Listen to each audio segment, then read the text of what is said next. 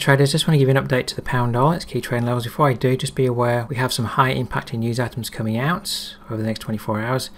Into Thursday morning, these are Queensland time at 5 in the morning, we have the US interest rate decision, the FOMC statement. And then later in the day on Thursday, we have the UK interest rate decision at 10 pm. So be aware of those items. Alright, let's get into the charts. Alright traders, onto the pound dollar daily chart. Now we are possibly forming a double top up here at weekly resistance at 124.47. Over the last three days we've been closing down and yesterday we tested what is weekly support here at 122.93. Now we may need an intraday bounce from this level in the short term. I'm expecting a further decline but we may get an intraday bounce. So let's drop down to the 4 hour chart and have a closer look. Alright traders, on the 4 hour chart I've just drawn this level of 4 hour resistance in, 123.44, this little double bottom that was, that's got broken, so that could be resistance on a rally today.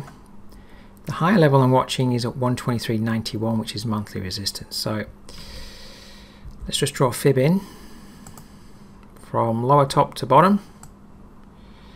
I'm anticipating a rally today, a bounce up from 122.93. First level I'm going to watch for failure on a rally is 123.44. This price rally, hold and fail and move down from that level. Do we rally higher? Going to be watching up here at 123.91 is your monthly resistance level. 123.88 is a 79% fib and of course the figure at 12400. So that's my preferred level if price can rally.